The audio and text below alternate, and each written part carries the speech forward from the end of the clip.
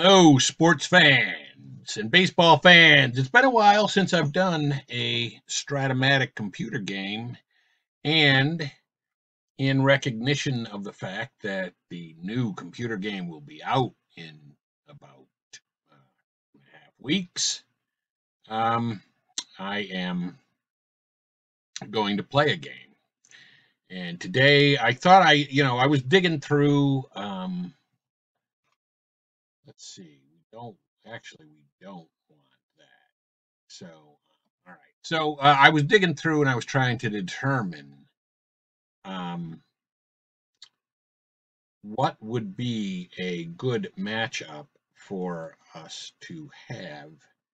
And um, I came up with the 1968 St. Louis Cardinals taking on the 2007 Philadelphia Phillies. And uh, the uh, matchup today will be Nelson Briles on the mound for the Cardinals, and um, and the uh, Phillies. I will be controlling the homestanding Phillies. Now, if you know my record record in these types of games, you know I almost always lose these one-off games on the computer. And so I have no expectation that I'm going to win this game, but we'll see. Maybe you know, maybe I surprise everybody. But um, we will see how that goes. Uh, the uh, Cardinals of 1968 won 97 games, and the Phillies of 2007 won 89 games.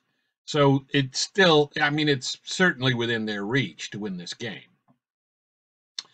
So, uh, with that having been said, let's go over the lineups for the Cardinals, you have Lou Brock in left field, Julian Javier at second base, Curt Flood in center, Orlando Cepeda at first, Tim McCarver, uh, former announcer as well, uh, at catcher, um, Shannon at uh, third base, uh, Davis in right field, and uh, and Max Maxville at shortstop with Nelson Briles on the mound. And then for the Phillies, you have Jimmy Rollins at short, Shane Victorino in right, Chase Utley at second, Ryan Howard at first, Aaron Rowand, former White Sox in center field, uh, Pat Burrell in left, loved Pat Burrell.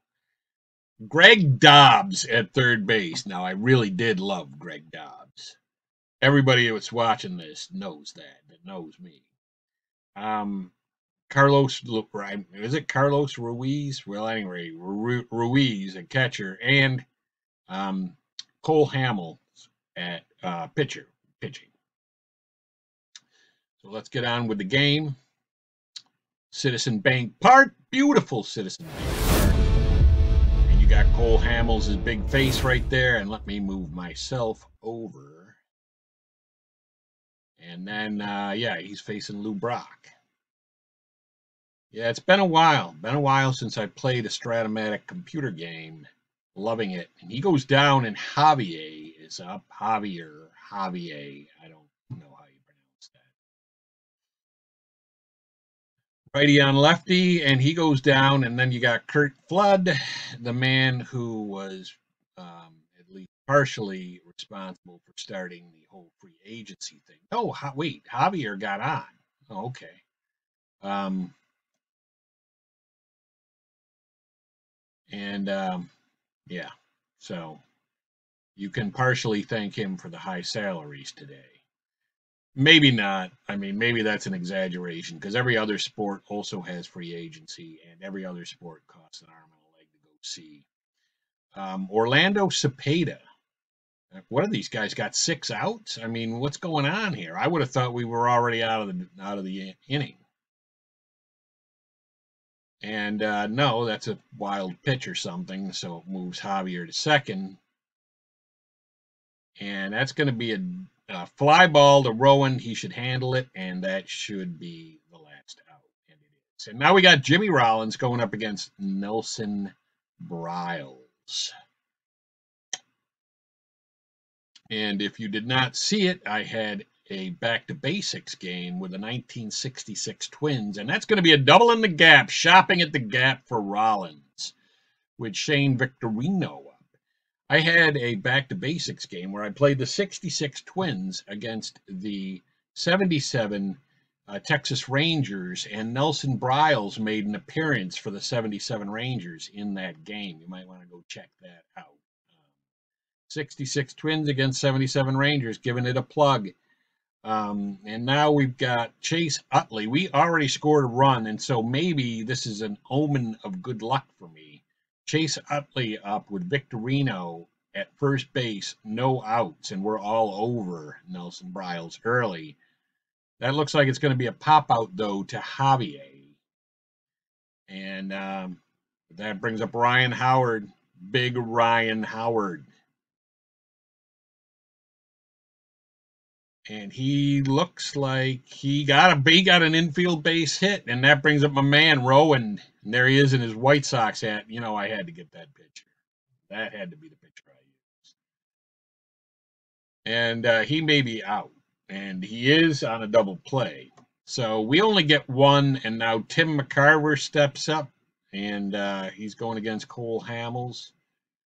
Um, one of my favorite stories was uh, Tim McCarver one time. Mike Shannon is up after Tim McCarver's out. Tim McCarver went out to the mound after uh, Bob Gibson was getting into a little bit of hot water in a game that he was pitching. And as McCarver went out to the mound, uh, Bob Gibson told him to get back behind the plate because the only thing he knows about pitching is that it's hard to hit. That's one of my favorite baseball stories. So you've got uh, Ron Davis. Looks like flying out to Rowand. Yep. and uh, now Dal Maxville is up with Shannon at first and two down here in the top of the second for the Cardinals. And that's a strikeout with Whiffalon. And now we're back up with Pat Burrell against Nelson Briles. A 1 nothing lead for the Phillies here. And Pat Burrell might have gone out of the park, did he? And it is a home run for Pat Burrell. And now we have a 2 nothing lead. We've scored in every inning so far, although there's only been two innings. Greg Dobbs, here he is, my main man, Greg Dobbs. And Greg Dobbs is going to be safe on an infield single. And that brings up, yes, Carlos Ruiz. I was right about his name. Glad my memory isn't quite that shot. Um, he moves um, Dobbs to second with a fielder's choice, and now Hamels is up. He, uh, but if Hamels gets out, he's only the second out. He did get out though. And that brings up Jimmy Rollins, who was on the Hall of Fame ballot this uh, past voting cycle for the first time. I, I'm not sure if he got enough votes to stay on the ballot. Um, I know a lot of guys said that they were going to vote for him, um, not necessarily because they thought he is definitely a Hall of Famer, but because they wanted to keep his, his name on the ballot so that they could keep talking about it and um, decide. And there you got Lou Brock. I did not mention this this first time up, but you got Lou Brock in his Cubs uniform, which – he only spent not very not very long on the Cubs. So with Briles at second, who somehow got on, with and one out, you got Javier up. And we'll see what Javier can do.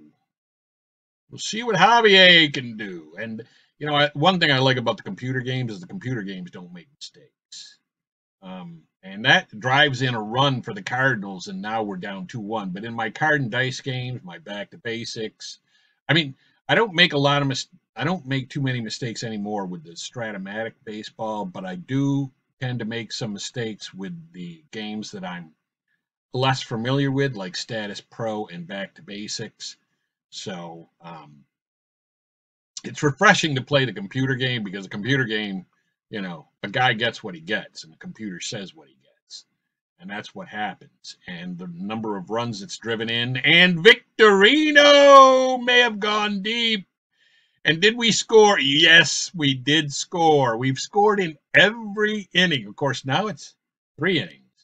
So it's becoming um, it's becoming a thing now. And Utley is up, and Nelson Briles has got to be a little worried. He's down three to one, and I think Utley just went downtown. I think the Phillies. I don't know. I think the Phillies are going to deliver me a rare win in these one-off games. You got Ryan Howard up. Um, four to one lead now for us. You I, you got to wonder when Briles is going to be replaced. That is one out though, and Rowand is up, because I'm wondering. And Rowand maybe a shallow fly that they can't get to, and they can't. And so he's got a single, and Pat Burrell, who's one for one with a jack today to his credit, and that may be a twin killing, and it is. But we did score two on two home runs, one by Victorino, one by Utley. And we are now up four to one. Tim McCarver back up at the plate. Remember Tim McCarver? I think he was on Channel 9 New York uh, as an announcer um, for the Mets. I want to say he was. Um, yeah, but I remember him at least working with that team, certainly when I was growing up in upstate New York. Uh, Mike Shannon up with McCarver at first base with no outs. And that's going to be a slow roller between second and first. And it's going to be an infield hit, and Ron Davis is up. Ron Davis with two aboard and only zero outs, which is, you know, only for them and only for us. Not good. But is that no? That was a fielder's choice. So runners are now at the corners with one down and Dale Maxville. So in the computer games, all I got to worry about is being wrong about something about a player that I say. So I try not to say things that might not be true, like that the Cardinals just scored another run and cut the deficit in half to 4 2. They're only down by two. And that's going to be a ground ball by Briles, and that is it. But the uh, Cardinals are hanging in this game, and now my man Dobbs is up. Um, and look at Dobbs. No, no, may, probably not. He does make the grab. It's an out, and Ruiz is up with one down. And he's out. I don't know why I don't have a picture of Carlos Ruiz. He's fairly recent. Um, and then Cole Hamels at the plate with two down and nobody on. And that's going to be a race to the bag, and he's safe. Hamels with an infield hit, and Jimmy Rollins. Jimmy Rollins is probably going to fly out to Flood, who is a 1E8. So let's not hope for too much there along the lines of a mistake by the Cardinals. We go to the top of the fifth. The Cardinals are down by two, so they're still within reachable range of giving me yet another defeat. But we'll see if my team can hold on. Um, and that's going to be a good play out there by Burrell. You don't usually see that. Burrell was not known for his fielding. In fact, he was a bad fielder. Javier is down, and that is two down with Flood at the plate here in the top of the fifth. And Curt Flood is going to be not out yet, but let's see what happens there. You got a ground ball and he's out. Victorino, Victorino, who's two for two with a home run and looks like he may be out there, and he is. Chase Utley, who has a home run today, is up. We would like a few more runs and put this thing away. But Briles is being stingy, although he did just um, walk Utley, and now Howard is up. And Howard's got a slow roller between second and first. Can he beat it out? No, he cannot. Uh, or he, no, it was a fielder's choice. Well, he beat it out because it was a fielder's choice. And now Rowand is up and Rowand is going down the right field line. Is that going to be uh, no? It's caught by St. Louis, and that brings St. Louis up to the plate in the top of the sixth, down by two. Cepeda Cepeda is maybe going deep, maybe going deep. Yes, he is. And so now it is four to three. Let's not give let's not give the sportsman that victory just yet. Um, there's a rip to right field by McCarver for a base hit, and Mike Shannon up.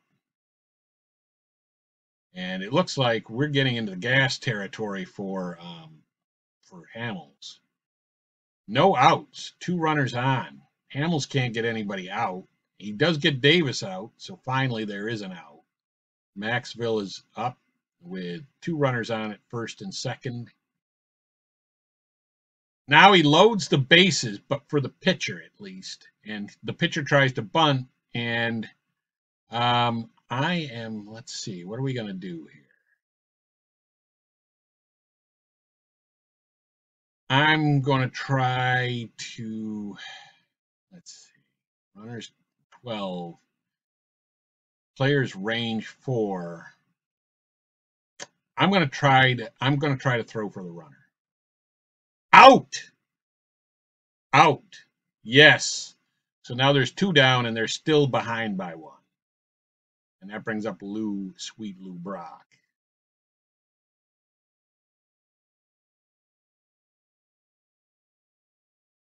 And that is an out. And so we do get out of that inning still ahead by one because of my gutsy decision to try to get the runner at the plate on the squeeze play instead of accepting a tie. Well, I felt like once I accept a tie at this point in the game, we're not going to win. But Burrell just gave me a two run lead.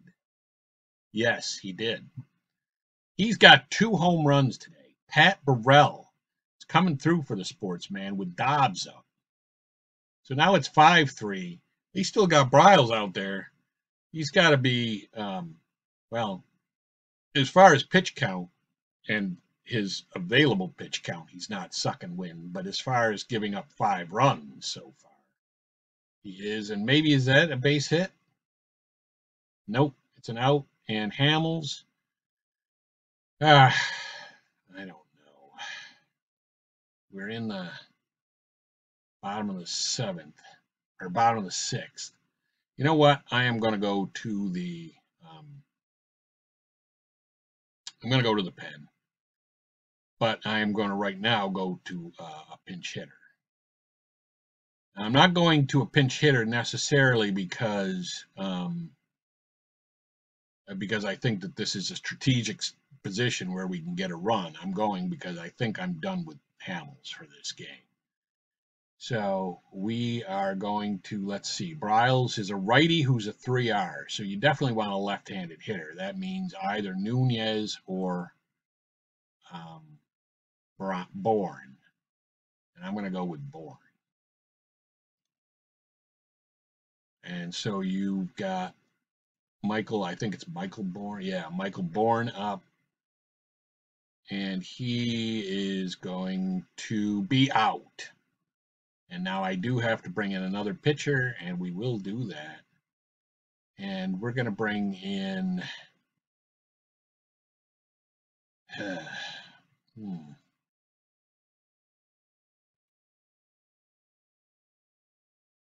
Is Adam Eaton? Is that Adam Eaton?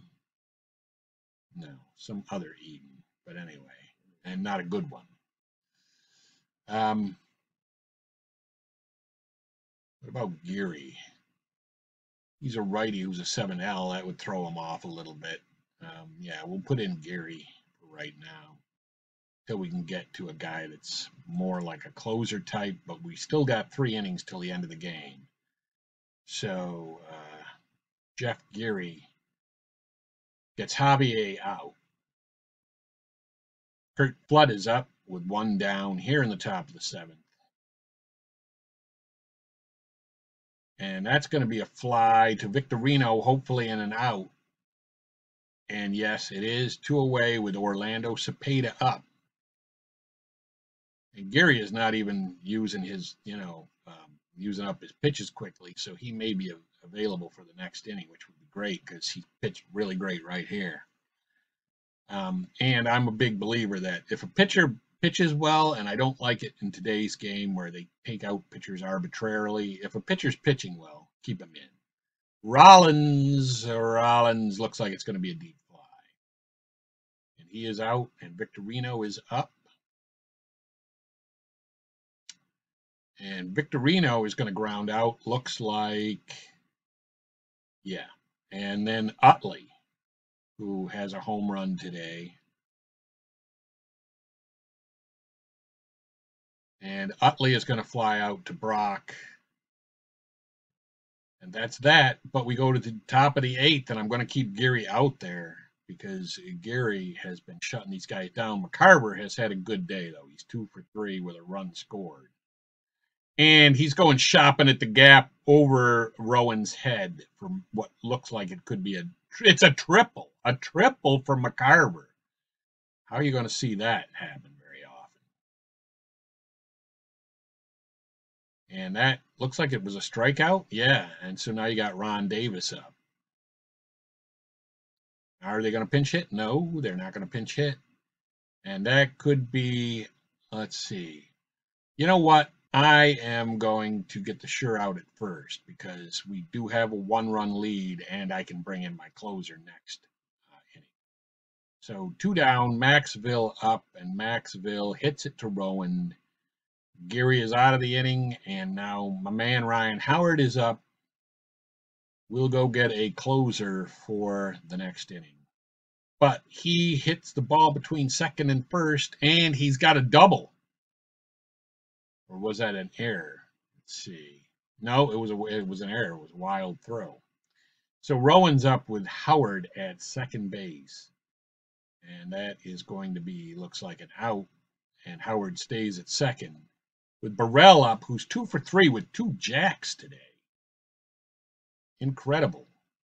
Incredible day for um, Burrell. And he's out. And now my man Dobbs. 0 for 3, not having a good day.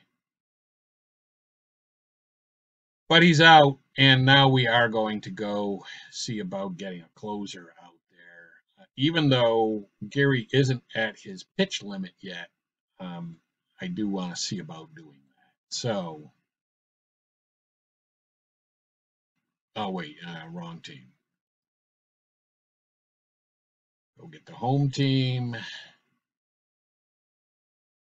Tom Gordon is a righty who's a 9R. Uh, let's see. He really wasn't all that great, was he? Durbin was terrible. Condrey, I mean, Myers was Myers. No, Myers was. Well, yeah, he was. 69 innings, 61 hits, 433 earned run average. But still, he wasn't really what you would call a uh, closer. So I'm going to go with Tom Flash Gordon. We're going to put him in, even though, again, I, you know, Geary was pitching well, and I usually don't like to do this. And they're going to bring in Roger Maris to pinch hit against Tom Gordon. It's almost unfair. But that's going to be a pop out to Howard. So it is one down, and Brock is up. I'm on the verge of getting a very rare win in a one off game, and that's going to be a line out to Utley. And there's two down with Javier up the plate. And the Cardinals down by a run, and they pinch hit for him with Johnny Edwards.